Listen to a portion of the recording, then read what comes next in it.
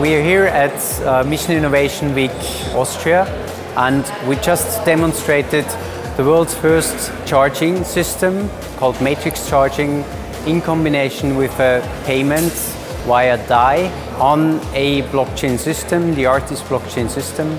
And we moved DAI from one account to the other in a streaming fashion via the Minerva wallet.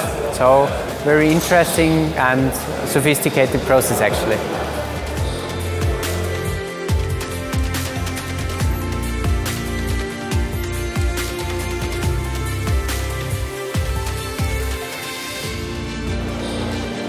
With this technology, we believe that actually we can simplify the process very, very much on the whole supply chain. So basically, what we are trying to achieve is that charging is becoming effortless for somebody who is providing charging stations, just as well as the customer who wants to charge his car.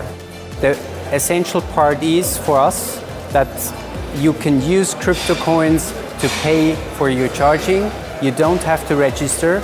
And for the infrastructure provider, you can install a charging station in less than 15 minutes and have it on the internet ready for somebody to charge his car with crypto coins.